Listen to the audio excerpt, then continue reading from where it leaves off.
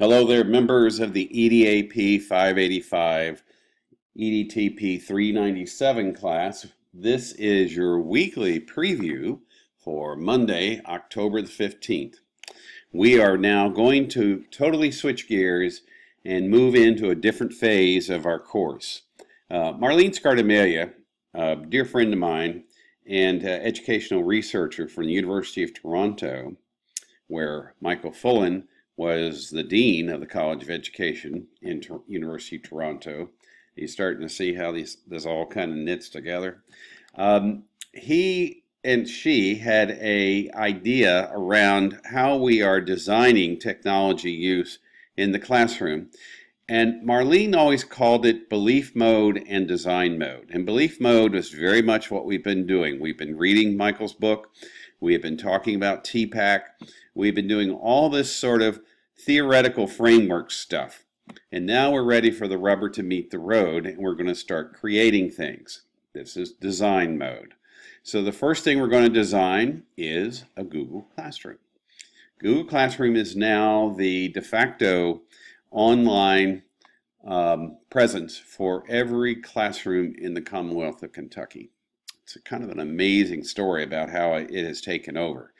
You'll look, when you look inside of here, we have a quite an extensive list of ways and tools to implement the Google Classroom. And we will be going through this, and it'll probably take us a good two to maybe even three class meetings to cover everything because there's so much in here. Uh, first of all, we will build a Google Classroom, but then we have to make it our Google Classroom hence the name, Ubiquitous Classroom. So we are going to be looking at how to do that. And then we're going to realize that sometimes we may need to go outside the Google Classroom, but still remain in the Googleverse. So we'll be creating a Google site that we will link back into our Google Classroom. And between the two of those, we will have a very rich, rich environment for providing resources for kids, as well as providing a place for kids to share their ideas about the curriculum that we are teaching, very much like what Dr. Fullan talks about.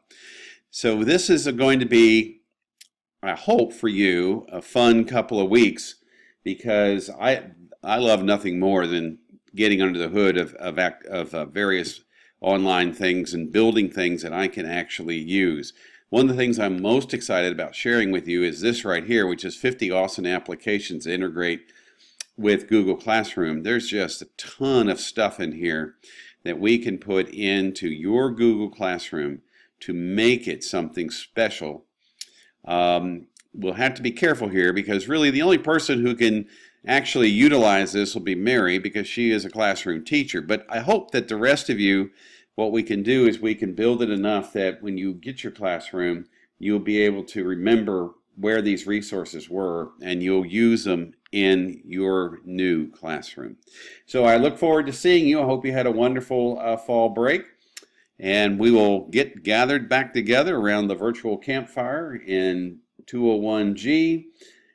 And we'll take the plunge into building the ubiquitous classroom.